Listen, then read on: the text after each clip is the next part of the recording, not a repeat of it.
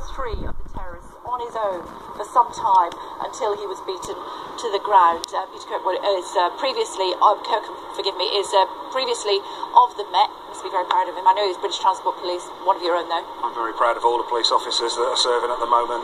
The police service is in crisis as a result of the cuts. They're being dragged from pillar to post. We hear talk of extra police officers on the street. They're not extra. They're officers that have had their rare leave days cancelled. They've had their 12-hour shifts that are now done routinely extended to 16 hours. They're being drawn from other areas. The officers we see behind us are from Kingston, uh, from uh, Hounslow and Hillingdon.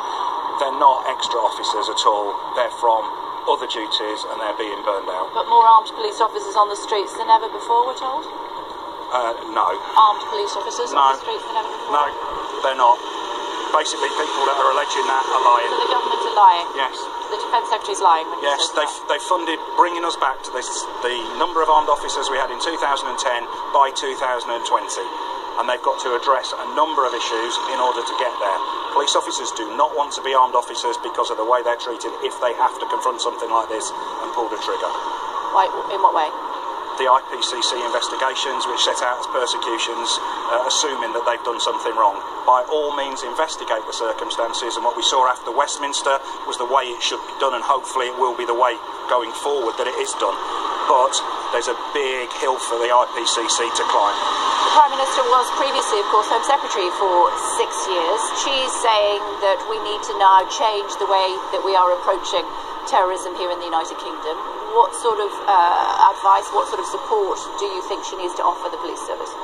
I heard her speech and she raised four things that needed to change. She missed the most obvious, urgent one, which is to deal with the uh, cuts to ordinary policing.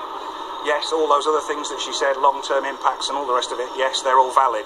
But what needs to be done, and it needs to be done immediately, is reverse and stop and reverse the cuts to ordinary policing. They're needed in intelligence gathering from communities.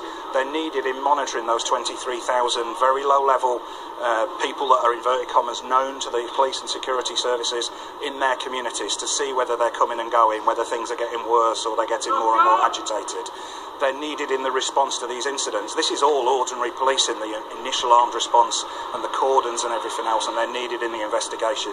Yes, there are specialist terrorist investigators, but they're drawn from ordinary CID and they're bolstered by ordinary CID. You said that people don't want to be police officers anymore, so how do you start to recruit them then, even if the, if the Prime Minister and her team say, OK, that's the way we're going to go? The first thing she could stop, and she could stop it tomorrow, is her bad mouthing of police.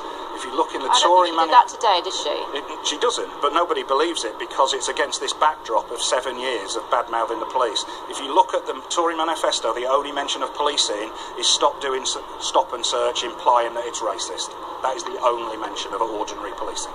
And just to clarify, you say that the government is lying about the number of armed police officers that are on the streets of the United Kingdom.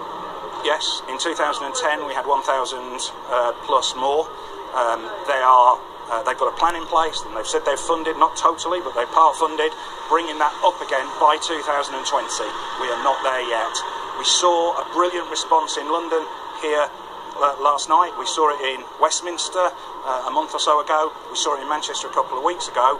If this had happened anywhere else, you would not be seeing that response. It is threadbare elsewhere in the country. Okay, it's good to talk to you, Peter. Thanks so much indeed for joining us on Sky News this afternoon. We are live at, live at the scene of the latest terror attack here in the United Kingdom. Three in just